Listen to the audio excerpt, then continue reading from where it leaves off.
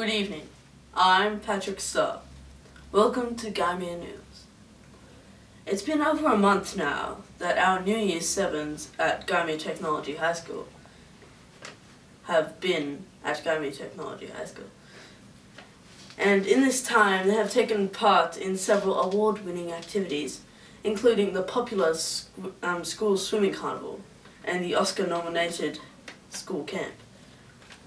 Ellie Fant caught up with some of these students earlier today. Thank you, Patrick. Here today we have Aaron, Alicia and Jesse. So Alicia, can you tell me, what is the best thing about high school you have experienced so far? The best thing about high school is creative arts and making lots of new friends.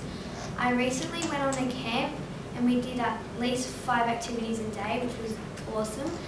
Um, my favourite activity was the giant swing. That's great.